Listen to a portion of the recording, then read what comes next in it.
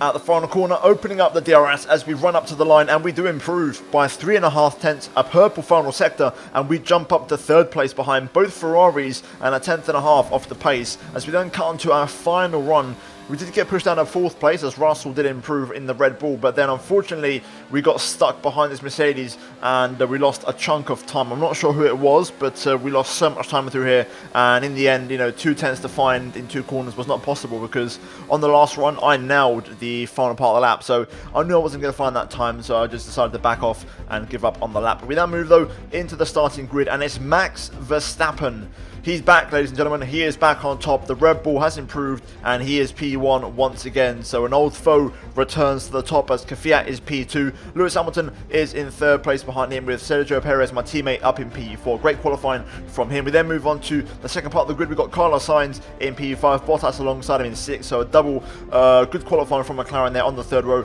Russell 7th, and then Charles Leclerc for the Haas team up in 8th place. And we then move further down, of course, to row number 5, and that is where we are in P9. Sebastian Vettel alongside us, who rounds off the top 10 for Mercedes. He managed to outqualify his teammate Pierre Gasly. And to be fair, Vettel was two tenths slower than us, so we had it pretty comfortably in P9. Uh, but the top nine was really, really close, covered by four tenths, and uh, Lando Norris there in P12. Then we have Alexander Albon P13 with uh, Kevin Magnussen in 14th alongside him. Then we have both of the Alphas in 15th and 16th, with Raikkonen beating his teammate Nico Hulkenberg. And then finally, the final four places are filled out by, of course, Lance Stroll in the Williams ahead of Antonio Giovinazzi in the Renault, and then both of the Toro Rossos at the back of the grid. Ricciardo at qualifying his teammate Romain Grosjean there. But that is your grid for the Chinese Grand Prix. We're now going to get racing and try and turn around what was actually disappointing qualifying into a decent race result.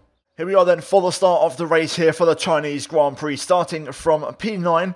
In the end, we got pushed down quite a bit down the grid, but it's very competitive, very close, and it's all to play for, really, I think, around here. And the target for me really is a top five finish. So far, we've had a third place and a fourth place. We're kind of aiming for that kind of region uh, once again. But in terms of the strategy today, we are going to go for what the team recommends, which is a soft to hard tyre strategy. The other possibility is a soft, medium, medium. That is a much safer strategy. We'll definitely get to the end on those quite comfortably. Um, we'll kind of judge it and see how the soft tire holds up. It's entirely down to the soft tire. If the soft tire holds on, we can you know go for the one stopper. If not, we'll try and go aggressive and use the faster tires to try and make something happen. Fuel-wise, we're going to run one extra lap of fuel in the car. Um, not super heavy, but enough that just in case if we have to push on the more aggressive strategy, we will have some left in the reserve. So hopefully we can have a good race. Overcast conditions here today. No sun throughout, so it's going to hopefully keep the track temperature down a little bit and keep things under control. But uh, yeah, without further ado, let's jump into it and let's see how we get on for round three and the Chinese Grand Prix here today at Shanghai. Right, here we go. Let's get ready for the start of the race as we get ready for the five red lights. Lights out and away we go. Not a bad start to be fair. Not bad at all. As we go into turn one, we are going to be able to get the inside line, which is perfect for us. As we go now into turn two, picking up the inside line on Sebastian Vettel, who gives us a squeeze onto the gravel there. Not exactly what we want, but we do manage to hold on. We're on the outside now, and oh my god, there's some debris coming off there. I think that's off Leclerc. I think I saw a bit of uh, a blue sponsorship. We are going to go down the inside though, into the hairpin. Aggressive move, three cars into one corner. Can we do that? Power down. Can we get ahead of Russell? Not quite. Russell still there. He has got his engine turned up, but we are going to try and go around the outside, but it doesn't quite work out for us. Russell holds on to P7, but we're up to P8, so it's a good start from us. Being aggressive, getting the elbows out, making a beautiful triple overtake down to turn number 5. Perez has had a shock up from P4 down to P6. He's had a very poor start in the other racing point. Let's see if we can now hang on to these guys. The target, of course, is to stay within DRS range, especially for the first two laps. This is when the AI run their engines at max power and they're really bloody fast, so we've got to really work hard here to stay with these guys. But once DRS becomes available, things will start to go our way. I also know our straight line speed I think is pretty good around here. Our top speed is really, really good on the speed trap, so we may have a chance. You can see we're actually catching Russell already here. For a brief second now, I thought about it, the, the dive, but it's still early doors. We'll try and build our confidence up, and then we'll maybe look for the overtake. But it's looking good at the minute. Hopefully the race pace is a bit more competitive than the qualifying pace. I mean, the, I don't think the qualifying pace was that bad, to be honest with you. Just, um, you know, it was a matter of tenths, and everyone was so, so close. As we go into turn one, though, we are gaining on Russell here. Russell doesn't seem that quick off the get-go, so uh, we may have a chance of getting past him here. We need to use the fact, while the tyres are fresh, to make these overtakes, because once they start to fade, it's going to be harder to make overtakes happen. The AI tend to drive better than me on worn tyres, so we need to try and make it happen early on. My differential is set to 50, so that will hopefully help us out as well in terms of tyre performance and keeping the rear tyres. Okay, now we're talking. In theory now, this is when the AI start to just turn their engines down a little bit, so we'll get a chance to make things happen now, hopefully, if the tyres can hold on. There's also a bit of a breakaway. We're just starting to drop Sebastian Vettel from behind, and uh, Vettel's well ahead of the next cars behind him. So we're hanging on here. It's kind of like an eight-car breakaway out front. At the minute, we're all just in a massive DRS train here, so nothing's really happening as it stands. But feels like Russell's just starting to struggle to hold on to Perez here, so we may have a chance at the end of this lap if we can stick with him. The problem is AI are very good through the second sector, so I struggle to stay close by the back straight, which is a shame. My first sector is pretty good, but it's the middle sector where I struggle to hold on to these guys, so hopefully we can do that on this lap. I'm just not close enough at the minute to go for a move on Russell. To be fair, he doesn't have much of a toe from Perez. Check your MFD for a new strategy option. Confirmed. We'll, we'll say yes to that for now, but uh, we may not catch Russell on this straight, but we may have a chance on the pit straight if I can stay close through the final corner. That's not bad. DRS. Russell does have DRS of his own. We're approaching. Thought about it, but Russell didn't flinch. He didn't go defensive. If he'd gone defensive, that would have opened up the opportunity to go for the move, but he held on, held firm. I'd love to get someone to turn 5, but I can never get the acceleration that AI get, which is a shame. Right, so we have got DRS on Russell this time. He doesn't have DRS on my teammate, so he's going to be a lot more vulnerable this time. Overspeed there, catching me out into the hairpin. Going to try and turn the engine up now if I can, and uh, maybe if we can get the final corner perfect. No, never mind, Russell pits. So it's an early start from Russell, presumably an aggressive strategy. So that's going to release us into P7 as there's a battle in front now for, I believe, P3, which is allowing the two Ferraris out front to check out, which is a shame. Verstappen lost the lead to the two Ferraris, and uh, it's not been ideal, but now there seems to be an almighty battle for third place in that final podium spot. Let's see if we can try and get ourselves back in that mix. The team wants me to do a one-stop on mediums on pit on lap 9, which is very bold of them. But we could do that. I've looked at my tyre wear. It could be possible. We'll have to try and save these a little bit but we could make that happen. Right, a few more cars are pitting, including my teammate Sergio Perez. Let's see what happens here now. Ferrari in the pit lane as well. So we're now up to P3. We're approaching the pit window. You'll be on the mediums. If we make this strategy work, which the team are recommending, by going onto the mediums on lap 9, it would give us a great chance. I think they are going to go for either two-stop medium, or they're going to go for one stop onto the hard. So we'd have an advantage on that tyre. It means we might struggle at the end, but let's see what the pace is like staying out. Doesn't seem too bad at the minute. But we've still got two more laps after this to go, so let's see how the tyres hold on. Okay, now the remaining cars pit. We're going to stay out here. We're going to try and go for this different strategy and try it, see what we can do. Let's look at the tyre wear.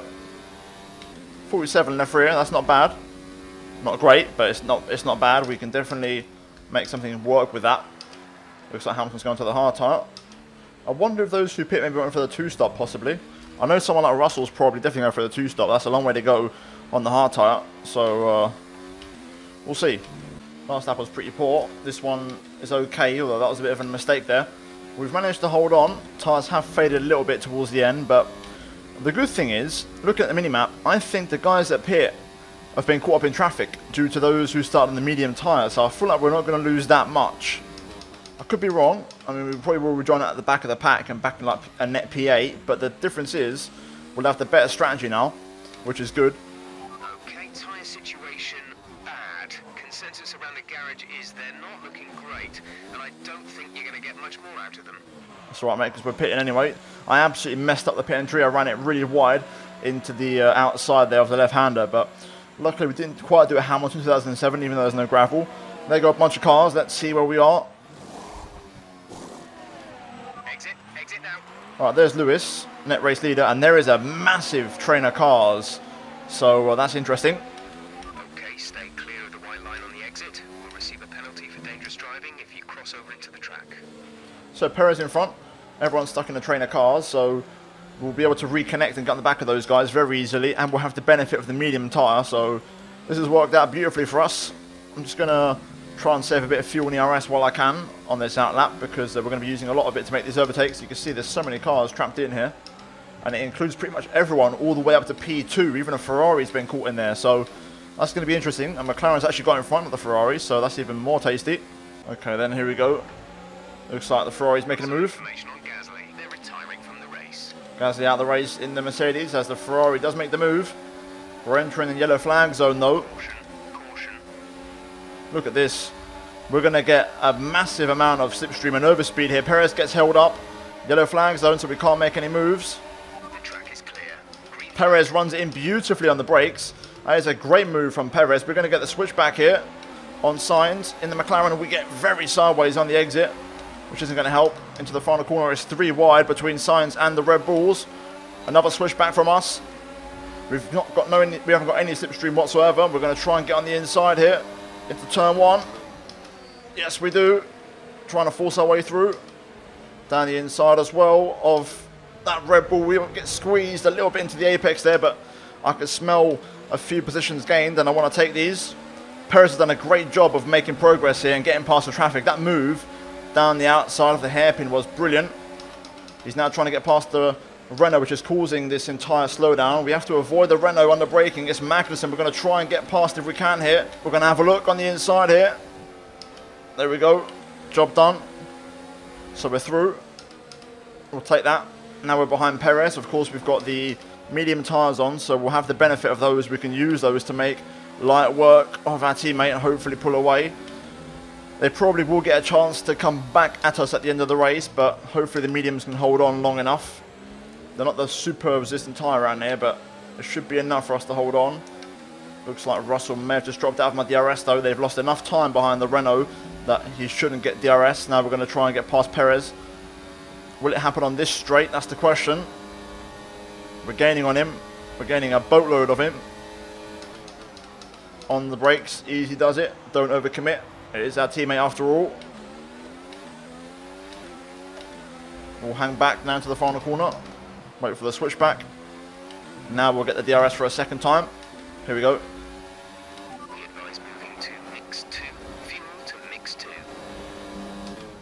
Job done around the outside of turn one. A little bit wide there, mid corner, but that's okay. So we're up to P11 now.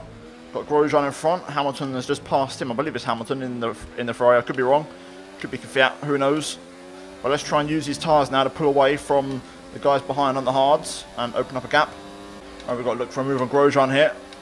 As we're now much faster than, of course, the struggling Toro Rosso on used mediums. I think we'll get the run through here. Maybe not. I thought I'd be a little bit closer, maybe go down the inside into that left-hander, but we have to hang back for now. This is allowing Perez to keep up, which is bad news. We want to try and pull away whilst we have the fresh rev up. We'll wait to the back straight. I want to rush, but at the same time we don't want to rush and make a stupid move, so we'll be patient with it. We'll use the fresh tyres to get it done. Here we go. Power down. We'll get a nice bit of overspeed with the DRS. That Toro is pretty good on the straight actually. The Honda power unit working well, but we do make the move. And it's actually Kvyat in front of us. So Hamilton is the Ferrari out front who leads the race here today.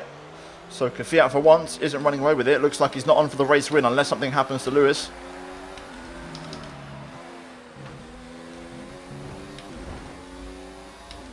And a few cars in the pit lane for good measure as we move up to P7 now in this race. So there we go.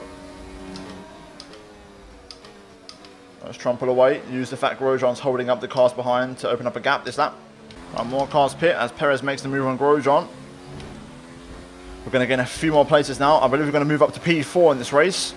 There we go. Net P4, Kvyat, and uh, I'm not sure which McLaren is in front, but battling for P2. Hamilton out front all by himself. So let's try and use these tyres to close down these guys. Tyre wear looks good. We're only on like 13% at the minute on the rears, so it's looking pretty damn good at the moment. I think we'll get to the end quite comfortably, actually. Surprisingly comfortably. I expected far worse.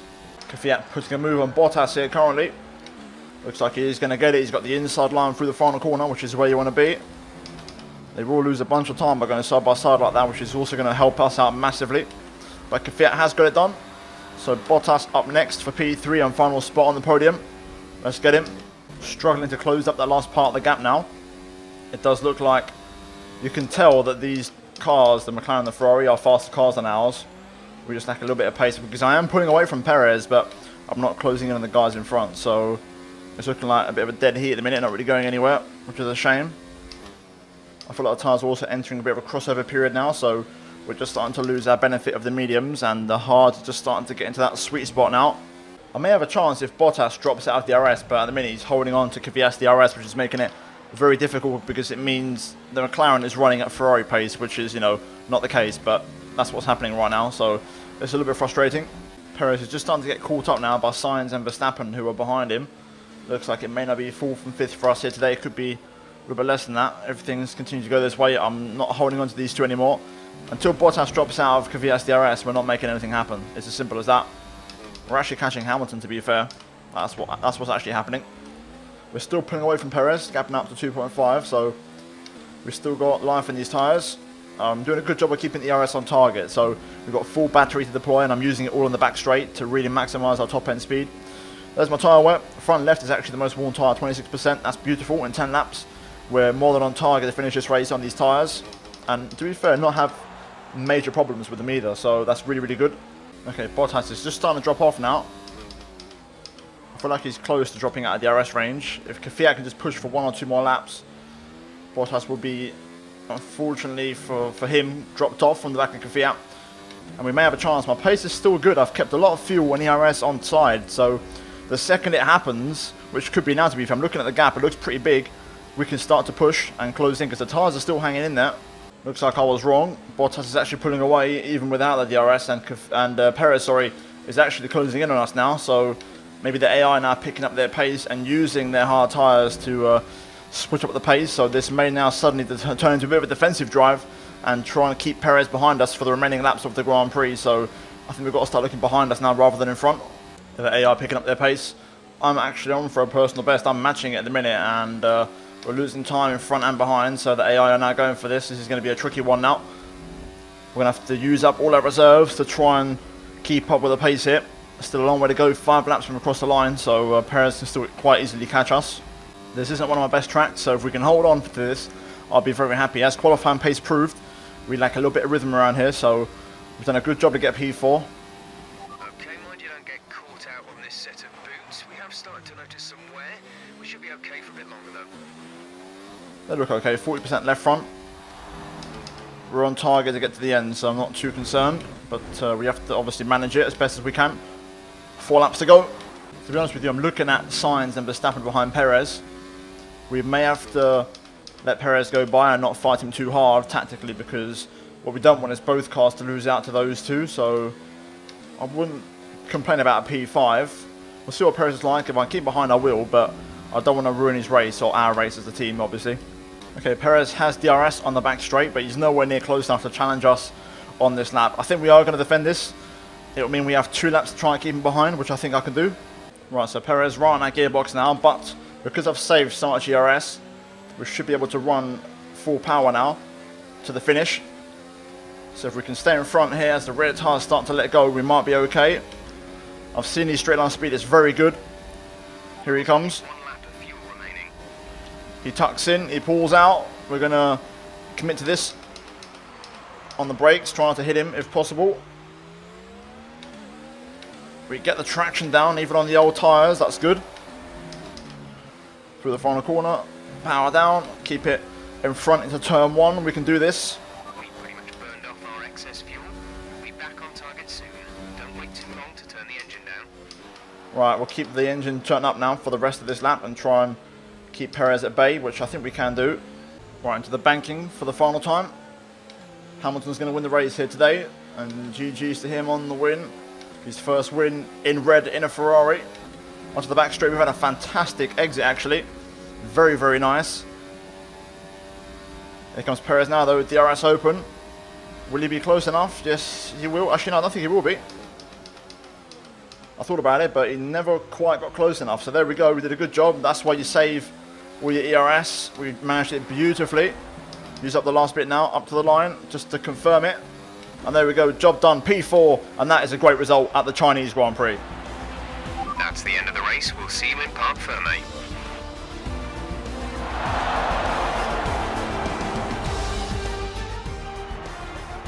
Well, what a drive that was to take the win for Ferrari today. Anthony Davidson, how do you think they were able to set themselves apart today? I'd say it was down once again to good consistent driving, nailing the corners, working to the track conditions and perfecting the team's strategies. They got all of these things right today and the results speak for themselves.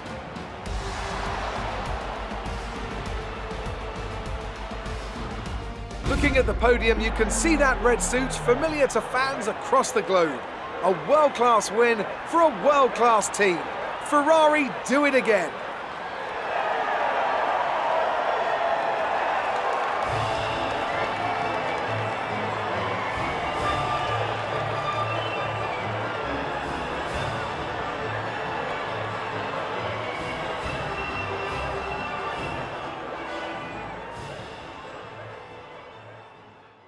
Here we have it then. The results are in. Lewis Hamilton picks up his first ever race win in a Ferrari ahead of Danica Kvyat who picks up second place ahead of Valtteri Bottas who has a great race in the McLaren onto the podium. Really strong race from him and I couldn't match his pace towards the end. We hold on for P4 on the medium tyres and in the end that strategy worked out beautifully to get us up the grid and finish in fourth place. Ahead of our teammate Sergio Perez who is P5 then we have Carlos Sainz in sixth place ahead of Max Verstappen. Sebastian Vettel 8th George Russell P9 on a two-stop strategy and Nico Hulkenberg scores his first points I believe for Alfa Romeo in in 10th place. Missing out the points, we have Albon, Norris, Leclerc, Giovinazzi, Stroll, Raikkonen, Grosjean, Ricciardo and Kevin Magnussen at the back with Pierre Gasly the only retirement of the race here today in the Mercedes. We then move into the driver's standings. And we are in third place 13 points behind Lewis Hamilton so not too bad. 28 behind Danica Kvyat after three races. And Perez moves up to P4 with that fifth place finish. And uh, Bottas moves up to P5 as well so they both overtake Sebastian Vettel. In terms of the constructor standings we are in second place and 27 points clear of McLaren but 53 behind Ferrari. So it's a long way to go. Ferrari so far have won every single race this season. So it's going to be hard to beat but we'll try our best. But that is it from me here today at China guys. If you enjoyed the video and the episode, drop a like, I'd greatly appreciate it. And also subscribe if you are new for daily Formula 1 career mode, MotoGP career mode and any kind of random F1 content I may post on the channel. And also turn on notifications guys to not miss out any content from me. And finally check out the two videos on your screen if you have missed them. But that is it from me here today at Shanghai. And I'll see you guys next time for round 4 for the Azerbaijan Grand Prix at Baku. But until then, it's goodbye from me.